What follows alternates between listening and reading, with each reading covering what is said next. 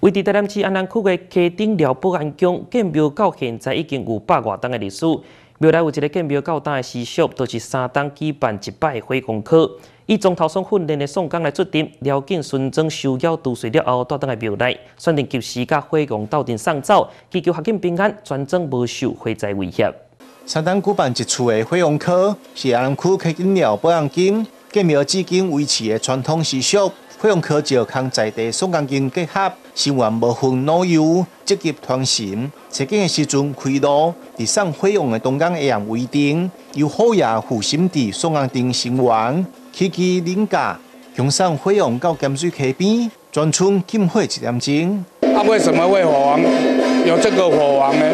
因为之前在古时候的时候，这边都是那个草屋。所以常常火灾，所以他那当地的人就弄一个来请火王，然后再送火王，后就平顺了。起因了不让金第一百五六年起庙，起初是茅草所起的草料啊，为片面火烧。起庙之初，费用王朝就一定存在。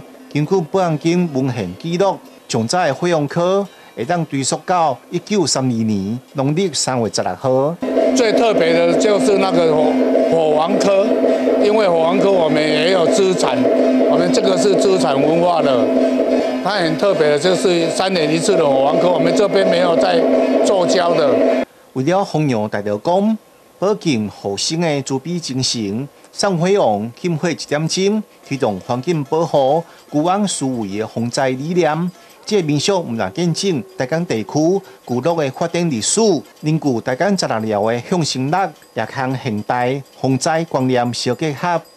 记者孙河南区采访报道。